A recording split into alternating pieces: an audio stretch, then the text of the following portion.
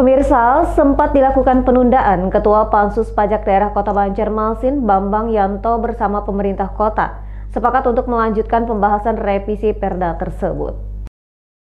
Sempat dikabarkan di pending pembahasan rancangan peraturan daerah atau raperda tentang pajak daerah diputuskan tetap dilanjutkan.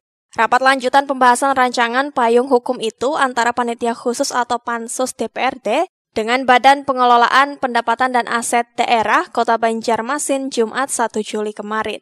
Kepada sejumlah wartawan, Ketua Pansus Raperda Pajak Daerah Bambang Yanto Permono menyepakati pembahasan Raperda tentang pajak daerah diputuskan tetap dilanjutkan.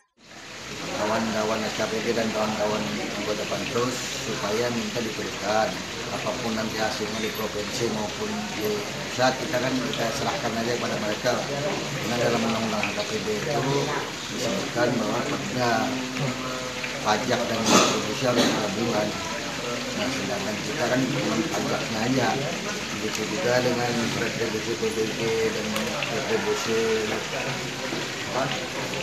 tenaga asing. Tenaga asing apa segala macam. Itu kan retribusinya aja nah untuk menyikapi itu kita sepakat dengan kawan-kawan tadi untuk segera ditindaklanjuti masalah nanti akhirnya bagaimana kita selesaikan pada provinsi nah itu untuk sementara yang yang kita hasil rapat pada hari ini tadi.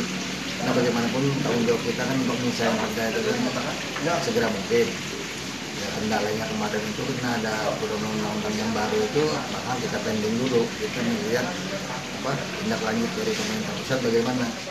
Salah satu hal yang menjadi alasan dan pertimbangan yakni menyusul terbitnya undang-undang tentang hubungan keuangan pemerintah pusat dan pemerintah daerah. Dalam undang-undang yang diterbitkan 5 Januari 2022 itu, pajak dan retribusi daerah aturannya tidak boleh lagi dipisah, tapi harus dituangkan dalam satu perda. Murtasia Banjar TV